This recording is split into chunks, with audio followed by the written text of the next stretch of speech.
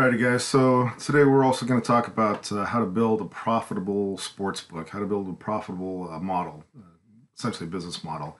First thing to the first concept when you think about markets, right, and we think about um, sports in general, you you have to think of it not as wanting your favorite team to win, right? Confirmation bias, which is the enemy of you know profitability in, in the trading world you have to think of sports, the sports books, as um, as a financial market itself. So if we take a look at the risk to reward, the odds that something's going to happen, right?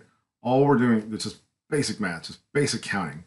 Um, so this is an example of one of the ways that I have made money on soccer. Um, you know, doing uh, just risk, risk to reward and taking a look at the odds. So if we take a look at our our profit table here, um, if you have a one to one odd odds. Uh, anything that's a winner 20% or less, not going to be profitable. 30%, 40% not profitable. Your break even, break even percentage is obviously on a one to one risk risk to reward has to be, um, you know, has to be that, that 50% mark. You're profitable if you hit 60% of your your trades at a risk of risk to reward of one to one. Whereas the way that I, I take a look at it is uh, I like those those five to one odds, maybe three to one. Um, what I what I do in soccer and hockey and other a couple other sports, if there's a three way bet and there's um, the possibility of a draw, and you can see the um, the odds here, five and a quarter, right? Four four point four. So for every dollar that you risk, you would get five dollars and twenty five cents back, or four dollars and forty cents back two dollars and twenty two cents back, right? So you have to figure out what percentage of the time does one of these three outcomes happen, and do the math based on that. So for me, it's a simple anything that pays over three to three to one. So anything that's you know 3.1, 3.2, and has a 30% win rate is going to be a profitable system, right? So that's all I do in in you know, a three-way bet soccer, hockey. Uh, I made a bunch of money on uh, cricket of all things, East India versus Pakistan a while back. That was pretty interesting. They allowed for a draw bet, and it never draws uh, cricket.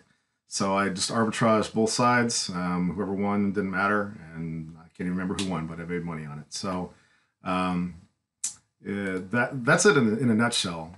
Uh, taking a look at the risk to reward, so five to one, four to one you know, you want to get above that break even, figuring out which market is going to be best for you, uh, what what the odds are, the you know, the home team, for example. How often does the home team win? If it's in, during that that time that the home team wins, let's say it's you know 30%, right? So you have to choose the odds of at least three to one for you to be profitable in that. If uh, they win 40% of the time, at home, great. Then you're, you know, you make more money. So for me, this is kind of my, you know, my sweet spot. Um, some days, you know, soccer is one of those things where some days you're, um, I think the worst day I had was 21%. And then, then yesterday I had 40, 41% of my stuff won. So I, you know, I bet over three, over three to one. It was three and my average was three and a half to one right? So I made money because 47% of the the things that I bet on were draws. Um, or, I'm sorry, the draws were the um, the outcome, and for whatever reason, 40% was 47% was uh, was the way that it went yesterday. That was my highest uh, percentage day. Like I said, the lowest was 21. Not my favorite day on the planet, but you know, overall, um, and if you if you look at the stats from, I mean, you can just go back through years of data and I've done this, you know, I, I actually counted and, you know, you print them out, you count, okay, which ones are, which ones are which. Uh, and you can figure out there's different leagues that have better odds and a higher success rate of either a draw or the home team wins, something like that. So that is um, how to create a successful sportsbook strategy as a financial market in general. There's 50 different other ways to do it. You can do parlays. You can there's there's just all sorts of ways to, to do it. But this is what's worked for me, and I uh, hope this uh, helps you guys make some money.